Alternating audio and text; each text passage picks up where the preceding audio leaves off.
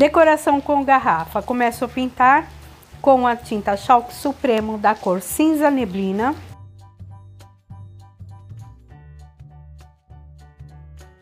Depois de seco, eu faço uma chuva americana com a cor preta e uma escova de dente velha. E agora com o stencil ST394 e a cor cerâmica, eu faço uma decoração ao redor de toda a garrafa.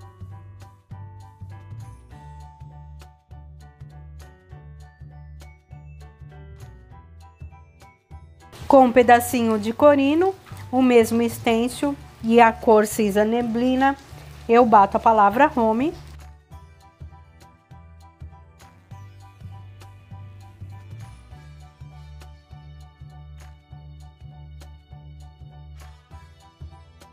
E ficou pronta essa ideia com garrafa, ideal aí para decorar qualquer ambiente.